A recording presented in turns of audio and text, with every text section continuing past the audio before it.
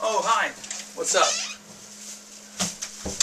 I'm Chris Master One here, and I have some exciting news to tell you about.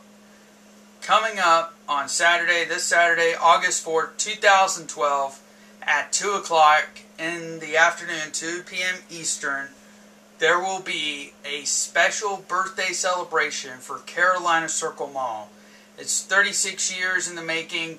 It will be on Rockin' Waves 11294, the celebration will. It will start at 2 o'clock, and the link, if you want to go and check it out, it's blogtv.com forward slash people forward slash Chrismaster one half.